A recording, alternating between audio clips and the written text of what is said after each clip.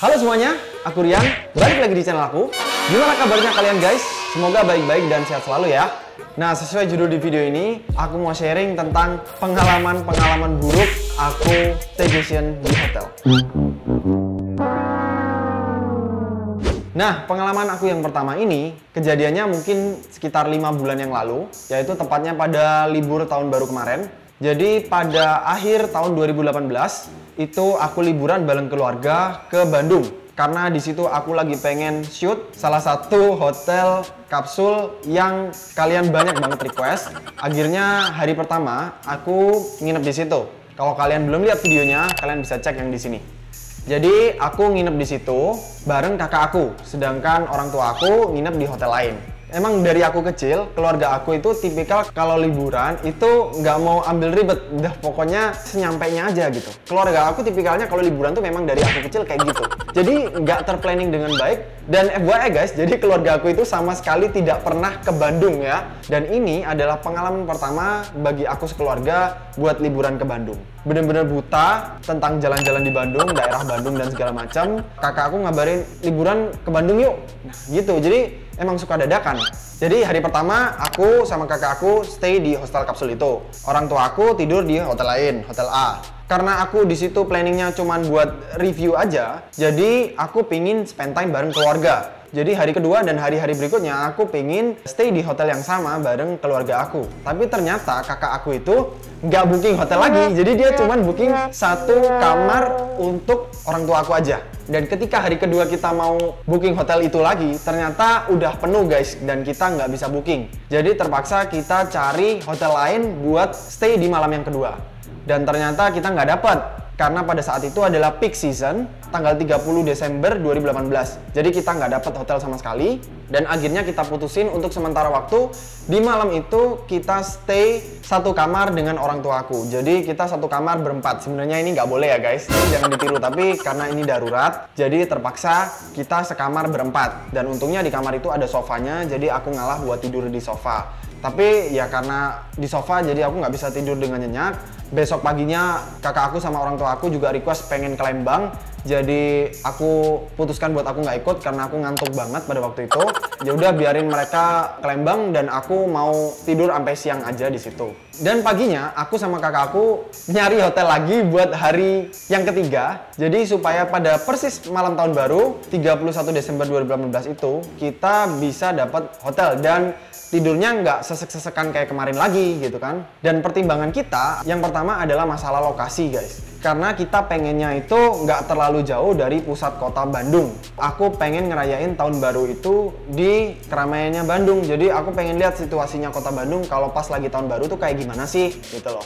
Sebenarnya ada beberapa option hotel, tapi lokasinya cukup jauh. Jadi di luar kota Bandung dan aku nggak pengen. Dan kakakku itu lihat satu hotel yang available pada waktu itu tanpa tanya ke aku, tanpa konfirmasi ke orang tua aku, dia langsung aja gitu booking hotel karena dia takut kehabisan. Siangnya aku check out sendiri dari hotel A ini ke hotel si B. Anggaplah ini namanya hotel B. Aku naik Gojek guys dan bapak Gojeknya tahu-tahu ngasih tahu A udah sampai. Aku kaget guys karena hotel tempat aku berhenti itu agak jadul gitu guys. Habis turun dari Gojek, aku langsung check in. Lobbynya itu memang kelihatan jadul banget. Aku terus langsung masuk, naik lift karena kamarku kalau nggak salah ada di lantai 2 atau di lantai 3. Nah ini nih guys, shocking momennya tuh pada waktu masuk kamar nih. Aku nggak tahu kenapa ya, hotel itu harusnya kan rame pada waktu tahun baru. Karena ini lagi peak season, tapi di hotel itu tuh sepi banget, aku nggak tahu. Aku jalan-jalan di lorongnya itu juga sama sekali nggak kedengaran suara orang dan nggak ngelihat orang sama sekali. Pas aku masuk ke dalam kamarnya, eng eng eng gitu. Di sebelah pintu masuk langsung ada wardrobe atau lemari pakaian. Di dalam situ itu ada bantal yang ditumpuk tapi kayak berantakan gitu dan nggak ada sarungnya. Ada kayak gumpalan-gumpalan debu tahu gak sih? Ada patahan besinya lemari juga miring-miring di dalam lemarinya itu. Terus aku masuk lagi ke dalam. Selain itu juga aku denger-dengerin kok ada suara berisik ya kayak ternyata oh ternyata itu suara AC guys jadi suara AC-nya itu berisik banget dan selain itu AC-nya itu kayak tipikal AC lama mungkin juga dipakainya udah lama selain berisik, AC-nya itu juga netes-netes airnya guys, jadi udah bocor.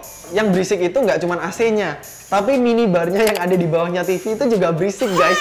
Di situ bednya kan twin bed dan bantalnya itu udah kempes dua-duanya guys. Jadi bener-bener kayak udah sering banget ditidurin, jadi udah bener-bener kayak kempes dan flat. Ketika aku dudukin, ya ampun guys, kasurnya itu mendelep ke dalam gini loh. ya menurut aku sih itu udah waktunya diganti sih. Dan yang gak kalah shockingnya adalah ketika aku masuk ke dalam kamar mandinya. Begitu aku masuk ke dalam kamar mandinya, itu kamar mandi full sama kerak air guys. Dari keramiknya, wastafelnya, sama klosetnya, itu semua full dengan kerak air. Jadi menurut aku itulah pentingnya baca review dari hotel yang akan kalian booking. Pastikan kalian tahu betul kesan-kesan dari tamu-tamu yang udah pernah stay di situ. Tapi jangan khawatir guys, kalau hotel-hotel yang udah masuk di playlist Hore yang aku rekomendasiin ke kalian, pasti hotel-hotel yang udah recommended dan aku udah kurasi dengan baik. Aku jamin pengalaman kalian buat staycation di situ udah pasti mantap banget lah. Nah, pengalaman aku yang kedua itu, aku mau ngelanjutin dari vlog aku yang ini. Kalau kalian yang belum nonton videonya, kalian bisa tonton dulu videonya, linknya aku taruh di description box di bawah. Jadi kemarin banyak banget yang nge-DM aku minta buat aku nyeritain lebih detail tentang kejadian hilangnya kamera vlogku waktu di Surabaya. Dan di sini aku pengen cerita lebih detail. Sebenarnya kemarin aku juga sempat tulis ceritanya di situ, tapi aku nggak ceritain lebih detail karena durasi videonya nanti bakal kepanjangan. Jadi seperti yang kalian tahu ya, kalau misalkan aku syuting sore hari itu pasti aku syuting time lapse. Karena lokasi Yellow Hotel Jemur Sari ini ada di jalan raya dan gedungnya itu tinggi banget, jadi aku ngambilnya mesti agak jauh. Framing, framing, framing, akhirnya aku putusin buat ngambil dari seberang jalan. Nah, mungkin kalian yang tinggal di Surabaya, kalian tahu ya kalau Jalan Raya Jemur Sari itu di tengahnya ada sungai kecil. Jadi jalannya kayak jalan kembar gitu, guys. Nah, aku berdiri di samping sungai itu. Kayak masih ada area tanah sekitar 2 sampai 3 meter gitu dan aku berdiri di situ. Kalau aku time lapse itu durasinya kurang lebih sekitar satu jam. Pas baru sekitar 10 sampai 15 menitan, aku tungguin di situ, aku digigitin nyamuk sampai bentol-bentol banget, guys. Dan aku bener-bener kayak sampai nggak kuat gitu. Karena sungainya itu memang kayak alirannya kecil dan agak kotor ya. Jadi di situ memang banyak nyamuk dan aku ngeliat biawak juga guys. Jadi di sekitar situ ada biawaknya gitu kan. Jadi aku putusin buat nunggu di seberang, yaitu di areal trotoar atau di persis di depan hotelnya. Jadi aku nyebrang jalan dulu dan aku tungguin di situ. Di situ juga ada bangku, jadi aku duduk sambil ngeliatin ke arah seberang, ke arah kameraku yang ada di situ dan tinggi kameraku itu hampir sama dengan tinggi rerumputan yang ada di situ. Jadi kalau orang lewat, apalagi pas jam itu adalah jam pulang kerja, jadi jalan raya Jemur Sari itu lagi rame banget dan kendaraannya itu kenceng-kenceng. Aku rasa hampir mustahil kalau orang tuh bisa ngelihat kameraku yang ada di situ. Karena kameranya tuh kecil banget guys. Tingginya itu paling cuman nggak sampai 20 cm.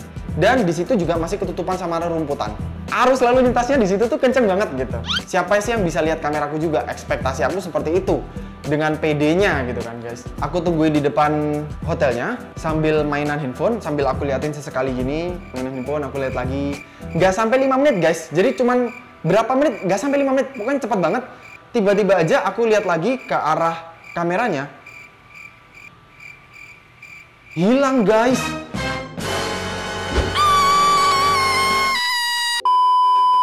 guys ini aku sekarang lagi review hotel. Dan aku lagi bikin time lapse tadi di sini di seberang jalan. Diambil orang kameraku.